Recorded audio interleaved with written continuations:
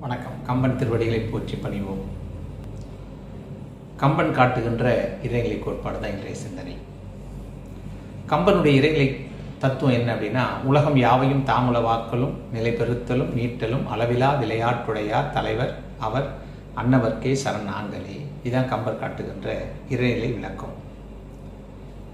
கம்பனுடைய இறைநிலை கோட்பாடு கடவுள் யாரு அப்படின்னா கம்பரனுடைய இந்த கதாநாயகனாகிய ராமர் தசரதனுடைய ராமர் இல்லை இது முழு முதற் மூல பரம்பொருளான அந்த மூல பரம்பொருள் தான் இங்கே ராமராக வந்திருக்கான்.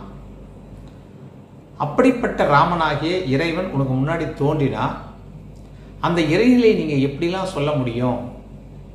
அப்போ கடவுளை பற்றிய நம்முடைய எண்ணங்கள் கடவுளை பற்றிய நம்முடைய சிந்தனைகள் கடவுளை பற்றிய நம்முடைய கருத்துக்கள் என்ன? இவற்றை தெளிவுபடுத்துவது தான் கம்பனுடைய இறைநிலை கோட்பாடு. ஒவ்வொரு காண்டத்திலையும் ஒவ்வொரு கதாபாத்திரத்தின் வழியாக ராமர் யார் தெரியுமா? அவர் தசரதனுடைய மகன் இல்லை. அதையும் தாண்டி முழு முதற் கடவுளான மூல பரம்பொருள் அவன் தான் ராமனாக வந்திருக்காங்கிறத ஒவ்வொரு கதாபாத்திரத்தின் வழியாக அழகாக சொல்லிட்டு போவார். ஆரம்பிய காண்டத்தில் விராதன் வதைப்படலும் ஒரு படலம். விராதன் யாருன்னா தேவர்களில் ஒருவனாக கந்தர்வனாக இருந்து ஊர்வசியினுடைய அழகில் அவருடைய ஆட்டத்தில் மயங்கி காமத்தினால் தன்னுடைய அறிவு நிலைமையை இழந்து சபிக்கப்பட்டு அசுரனுடைய மகனாக பிறந்து விராதனாக இப்படி நரபலி உண்டு வாழ்ந்து கொண்டிருக்கிறான். அப்படிப்பட்ட விராதன் ராமரால் வதை செய்யப்பட்டு சாப விமோச்சனம் அடைந்த அடுத்த வினாடி தனக்கு முன்னாடி இருக்கக்கூடிய இந்த ராமன் தசரத ராமன் இல்லை அந்த மூல பரம்பொருள் தான்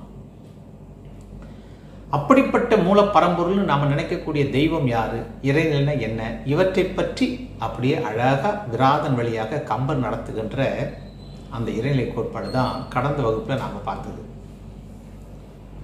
இப்போ அடுத்தது சரபங்கன் அப்படிங்கிற ஒரு முனிவர் தன்னுடைய தவ வலிமையால பிரம்மனாலேயே அப்படி மெச்சப்படுறார் பாராட்டப்பட்டு பிரம்மன் தன்னுடைய பதத்தையே தரங்கிறார். சரபங்கனுடைய இன்னொரு சிக்கல் என்ன அப்படின்னா மிக அதிகமான கோபப்படக்கூடிய சரபங்கன் அந்த கோபத்தின் வழியாக அப்படிப்பட்ட உயர்ந்த பதம் நான் இறந்து போறேன் அப்படின்னு அப்படிப்பட்ட அந்த சரபங்கனை பிரம்மனுடைய பதத்துக்கு அழைத்து செல்வதற்காக தேவேந்திரனே சரபங்கனுடைய குடிலுக்கு வராரு. இப்ப தேவேந்திரன் ராமரை பார்த்த உடனே இந்த முன்னாடி இருக்கக்கூடிய ராமன் தசரத ராமன் இல்லை இவன் மூல பரம்பொருள் நமக்காக இந்த தேவர்களையும் ராவணனால் வஞ்சிக்கப்பட்டு வதைக்கப்பட்டவர்களையும் காப்பதற்காக இங்கு ராமனாக மூல பரம்பொருளாக இவன் வந்திருக்கிறாங்கிறத தேவேந்திரன் புரிந்து கொள்கிறான் அப்போ தேவேந்திரன் தனக்கு முன்னாடி இருக்கக்கூடிய தசரத ராமனை பார்த்து மூல பரம்பொருள் ராமரே என்று வியந்து பாடுகின்ற இந்த ஒரு ஆறு பாடல்கள் தான் கம்பனுடைய அடுத்த இறைநிலை கோட்பாட்டினுடைய தத்துவம். ஒவ்வொரு காண்டத்திலையும் இந்த மாதிரி கதாபாத்திரங்கள் வழியாக கம்பரனுடைய இறைநிலை கோட்பாடை நம்ம புரிந்து கொள்ளும்போது தான் கம்பரனுடைய அந்த இறைநிலை விளக்கம் எவ்வளோ உயர்ந்தது தத்துவத்தையெல்லாம் மிஞ்சி பக்தியினுடைய முழுமையான ஞானத்தின் வழியாக எவ்வளோ அற்புதமாக இருக்குங்கிறத அந்த பாடலின் வழியாகத்தான் கம்பனை பார்க்கணும். கம்பரனுடைய இந்த இறைநிலை கோட்பாடு என்பது நம்மாழ்வாருடைய திருவாய்மொழியினுடைய இறைநிலை கோட்பாடாகவே ஒத்து போகும்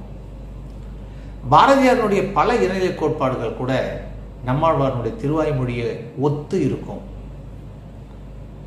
அப்படி ஆழ்வார்களுடைய அந்த திருவாய்மொழியினுடைய அந்த கருத்தை அப்படியே மீண்டும் எளிமையாக மிக மிக சாமரனுக்கும் புரிய மாதிரி இப்படி அழகாக இந்த இறைநிலை கோட்பாடை எடுத்து சொல்வதற்காக கம்பர் செய்கின்ற உத்தி என்ன அப்படின்னா அவருடைய கதாநாயகனான தசரத ராமன் சாதாரண தசரத ராமன் இல்லை அவன் மூல பரம்பொருள் தான் அப்ப மூல பரம்பொருளான இறைவன் இங்க ஏன் ராமராக அவதரித்து வந்திருக்கிறான்? இந்த அவதாரத்தினுடைய நோக்கம் என்ன? இந்த அவதார புருஷர்கள் இந்த மண்ணில் செய்ய வேண்டிய அந்த வேலை என்ன? இந்த மனிதர்களையும் இங்கு உள்ளே இருக்கக்கூடிய உயிர்களையும் காப்பதற்காக அந்த இறைவனே ஏன் இங்கு வரணும்? இப்படி நமக்கு எழக்கூடிய எல்லா கேள்விகளுக்கும் பதில் சொல்லுவதாக ஒவ்வொரு பாடலின் வழியாக கம்பர் நமக்கு நடத்துகின்ற பாடம்தான் கம்பனுடைய மிக மிக முக்கியமான இறைநிலை விளக்கம்னு சொல்லலாம். இப்போ கம்பர் தனக்கு முன்னாடி இருக்கக்கூடிய மூல பரம்பொருளான ராமனுடைய இந்த அவதாரத்தினுடைய நோக்கத்தையும் சொல்கிறாரு இந்த மூல பரம்பொருளுடைய மிக உயர்ந்த குணாதிசயங்களையும் கல்யாண குணங்களையும் உயர்ந்த பண்புகளையும் இறைநிலையினுடைய தன்மையும் இப்போ சொல்ல ஆரம்பிக்கிறாரு.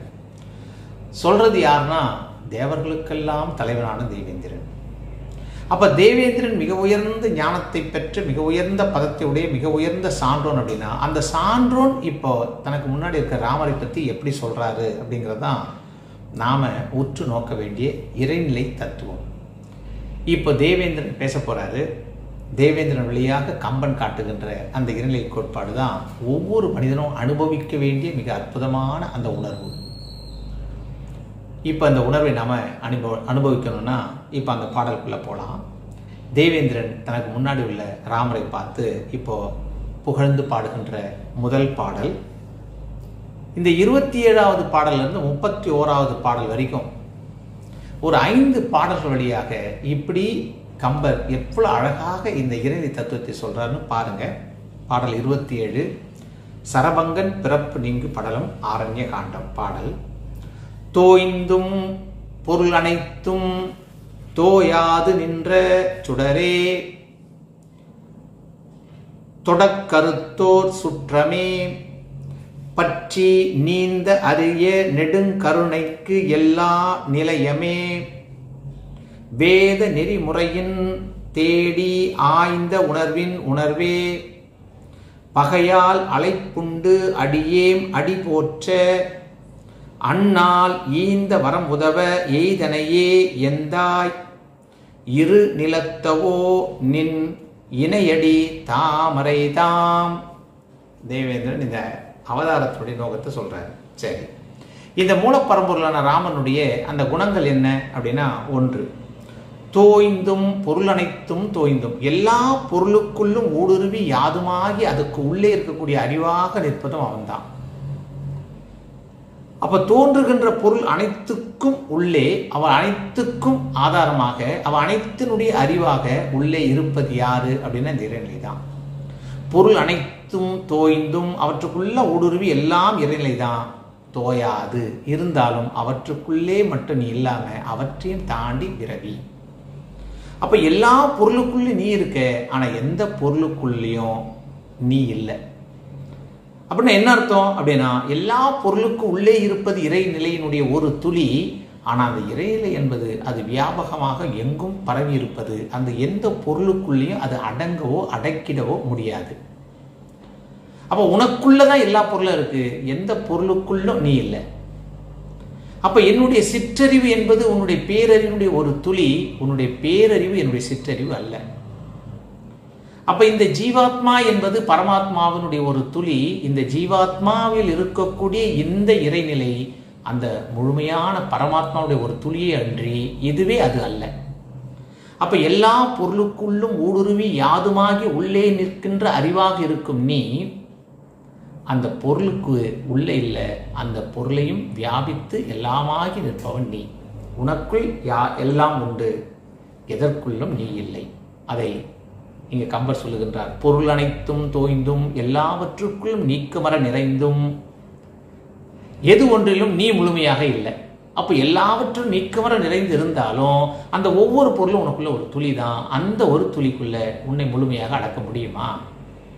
தோயாது. நின்ற சுடரே. அப்படி நின்ற ஞானத்தின் விளக்கே ஞானமாக நின்ற சுடர் ஒளியாக. இந்த ஒளிக்குள்ள எரிகின்ற நெருப்புக்குள்ள எதை போட்டாலும் ஒளியின் தன்மையாக மாறும். எல்லா பொருளுக்குள்ள ஒளியின் தன்மையாக மாறக்கூடிய ஒளி அந்த பொருளுக்குள்ளே இருக்கும். எல்லா பொருளும் ஒளியில போட்டால் ஒளியா மாறும். ஆனா ஒளி தான் எல்லா பொருளானா இல்லை. அப்படி எல்லாவற்றுக்குள்ளும் நீக்குமர நிறைந்திருந்தாலும் எவற்றுக்குள்ளும் நீ முழுமையாக இல்லாத சுடரின் வடிவாக நின்ற ஞானத்தின் வடிவே சுடரே அப்படின்னு அழைக்கிறார். தொடக்கருத்தோர் சுற்றமே.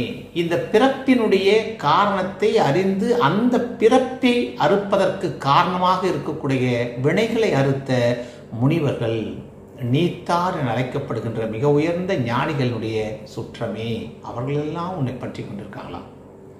அப்போ உன்னுடைய சுற்றம் யாருன்னா தொடக்கருத்தோர் என அழைக்கப்படுகின்ற தன்னுடைய பிறப்பிற்கு காண காரணமான வினைப்பதிவுகளை எல்லாம் முழுமையாக அழித்தவர் எவரோ அவர்களை சுற்றமாக கொண்டவனே.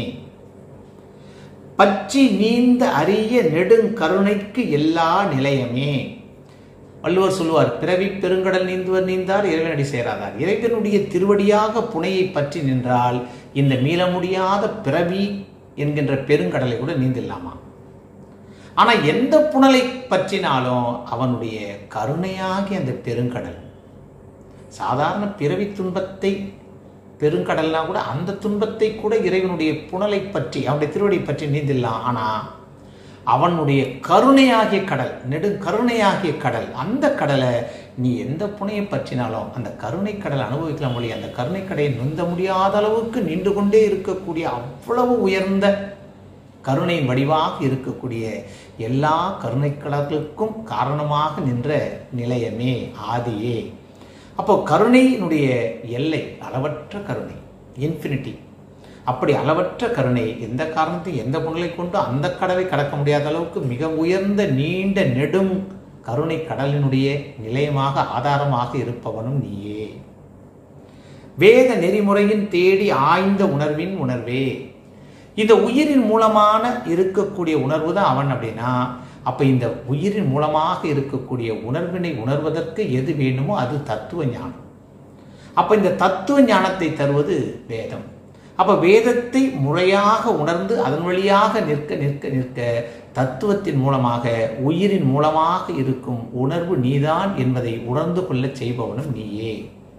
வேதத்தால் வேத நெறிமுறைகளால் சொல்லப்படுகின்ற அவற்றின் வழியாக நின்று தேடுவதனால் ஒவ்வொரு மனிதனும் தனக்கு உள்ளே இருக்கும் உயிரின் மூலமான உணர்வுதான் நீ என்பதை உணர முடியும். அப்படி தத்துவத்தின் வழியாக தேடி உணர்வை அனுபவிக்கப்படுகின்றவர்களுடைய அந்த உணர்வே. அப்போ உயிரின் மூலமான உணர்வு அப்படின்னா அந்த உணர்வாக இருப்பவன் நீதான். அந்த உணர்வை அடைவதற்கு உற்ற துணையாக இருப்பது வேதத்தினுடைய நெறிமுறைகள்.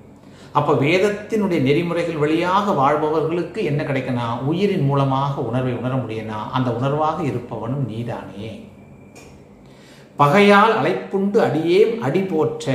அன்று ராவணனோட எங்களுக்கு ஏற்பட்ட பகையால ராவணன் எங்களையெல்லாம் துன்புறுத்த எங்களையெல்லாம் காப்பதற்காக ஒரு வரம் கொடுத்தாய்.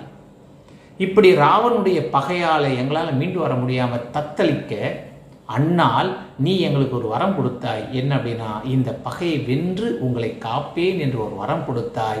அந்த வரத்தை காப்பதற்காக